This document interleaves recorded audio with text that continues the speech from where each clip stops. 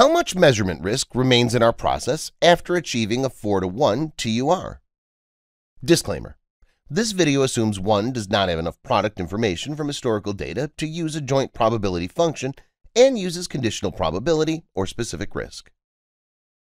Current industry assumptions are that a 4 to 1 TUR is a recipe for maximum confidence with minimal decision risk. The process measurement is always centered. We're going to disprove these assumptions by showing the true risk associated with a 4 to 1 TUR as well as discuss why the location of the measurement matters. Let's start with traditional logic, using a 4 to 1 TUR. The process is perfectly centered and the measured value is 1000 within the tolerance specification of 0.1% of full scale. If the process never moved from this location, calibration intervals can be set in decades and the measurement risk is trivial. The graph shows normally distributed data. There is a lower tolerance limit to the left and an upper tolerance limit to the right.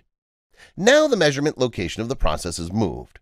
Many would consider location well within tolerance and perfectly safe.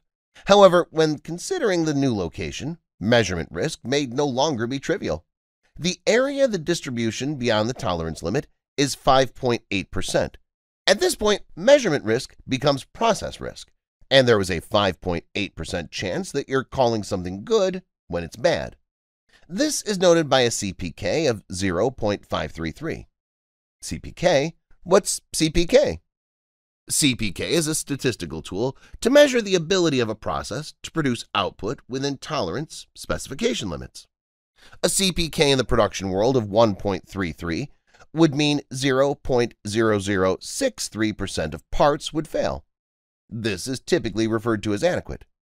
In metrology, a CPK of better than 0.667 at 95% confidence is considered acceptable.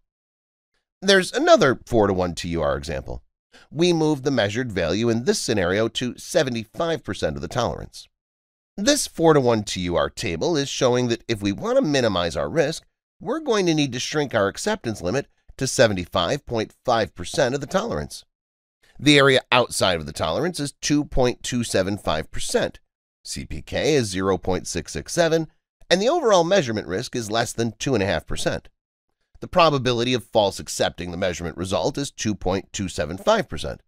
Most in metrology working with a 95% measurement confidence want to achieve a result with less than 2.5% single-sided risk. Here we have a TUR table showing 95% measurement confidence. The table shows the lower and upper limits where the measured value must fall between to limit the risk to 2.5% on each side. Let us assume a 1-to-1 TUR looking at a perfectly centered measurement.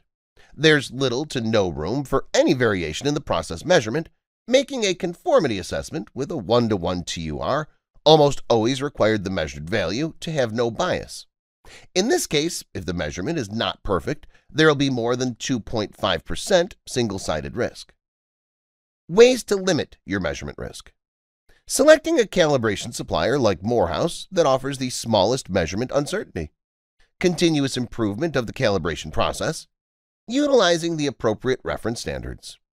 Calculating measurement risk with respect to the location of the measurement. CPK is a great tool.